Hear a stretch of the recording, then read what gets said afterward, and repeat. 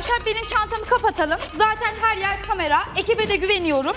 Ne olduğunu bulacaklar. O kamera Bence de görüntüleri de bulsunlar çıkacak. Bence de. Siz onu bunu bırakın Bulsunlar da sabahtan beri gözüme takılıyor.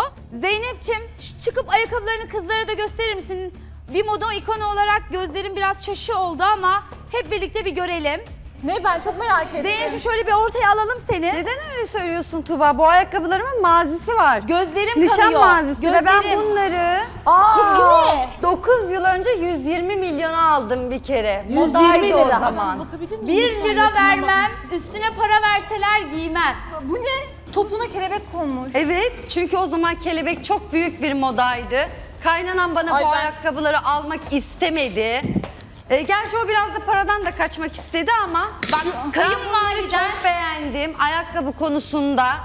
Benim bir ayakkabıcım var. Başka ayakkabı almazdım bir yerden. Senin kayınvaliden senden zevksiz, zevkliymiş ki sana bunu aldırmamak için Ay, uğraşmış. Onu tebrik sen ediyorum. 9 yıl öncenin modasını hatırlıyor musun Tuğba bilmiyorum ama daha bu ayakkabılar e, birçok yerde satılmıyordu bile. Çok ender ayakkabıcılarda ben bulunuyordu. her zaman e, güzel giyinen bir insandım. 9 yıl önce de bunu bana para verseler asla giymem.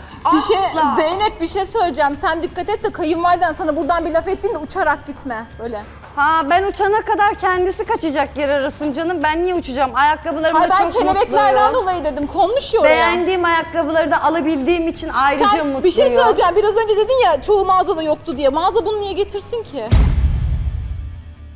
Emine Hanım, Zeynep'in ayağındaki ayakkabılar ne öyle kelebekli falan? O kelebekli ayakkabıları alma var diye ne kadar kavga ettik sen biliyor musun? Niye? Ne oldu ki? Nişanda aldım ona. Git tutturdu onlar istedi. E o zaman da ben de ona göre para aldım üstüme. E, illa onları alacak. Onlar da o zaman 9 sene önceden 120 bin lira. Çok para. 9 sene önce. 9 sene önce. 120 bin lira tabii ki çok almadık. Biraz gittim yana, e, biraz çocuğu aradım, oğlumu aradım. Büyük kızım da benimle. Baktım üzülüyor, aradım oğlumu dedi anne ne istiyorsa al deyince. Tabii aldık sonradan gittik o ayakkabıları onu aldık. O zaman kelebekli ayakkabılar modaydılar.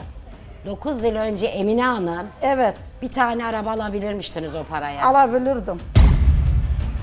Kelebekli Ayakkabıyla uçacak mı? Öyle uçacak mı işte? En azından istedi- araba alsaydın gelini gezdirirdin. Evet, e, uçacak istedi işte. İstedi ne yapayım? Emine Hanım yine sizin 9 yıl önceymiş. Ben yani size bir şey göstereceğim hanımlar. Bizimki yani 3 sene önceydi. Ben bu gençlerin, gelinlerin şımarıklıklarını hiç bilmiyorum yani. Nereye Bir gidiyorsun? dakika, bir dakika. Yok yok bir dakika, bir dakika. Nereye gidiyorsun? gidiyorsun? Ben geliyorum bir dakika. Filiz Hanım. Filiz Hanım Ya nereye geliyorum. böyle? Filiz Hanım gelir misiniz? Hayret. Filiz Hanım bir şey gösterecek herhalde. Demek ki değerli bir şey gösterecek Değerli bir bize. şey evet. Olabilir. Şimdi Zeynep'ciğim ya benim de bir oğlum var. İleride evleneceği kız yani ben bu ayakkabıyı alacağım dese gerçekten yani hani böyle bir kötülük yapmam ama bu ayakkabıyı giymesin diye kendimi siper ederim yani. Giymesin diye. Rezil olmasın diye yani o kadar insan içinde rezil etmem ben gelinime. Yani bence insanların zevklerine Yani ben saygı teyzeye hak veriyorum. gerekiyor. Neden o kadar Sen benim direnç? zevkime saygı duymuyorsun, çöp torbası diyorsun. Sana geldi mi zevk oluyor? Bize gelince ne oluyor?